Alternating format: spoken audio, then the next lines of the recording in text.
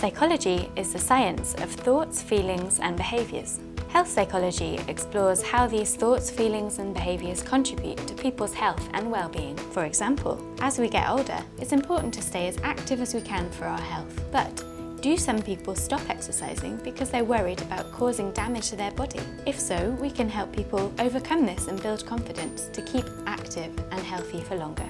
At the Manchester Centre for Health Psychology, we work with people across the lifespan from childhood, adolescence, pregnancy, all the way through to older adults. We work with healthy people, those experiencing illness, disability or health conditions, and with carers and healthcare staff too.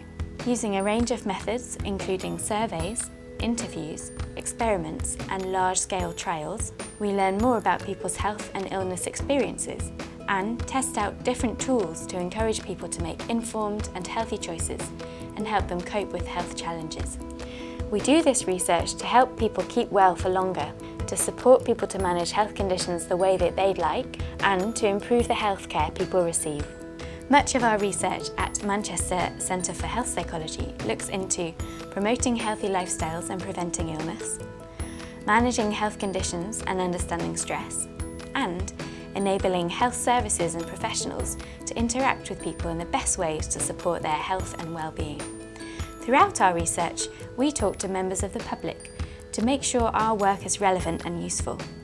And we advise policymakers to ensure our research can benefit people's health locally, nationally and internationally.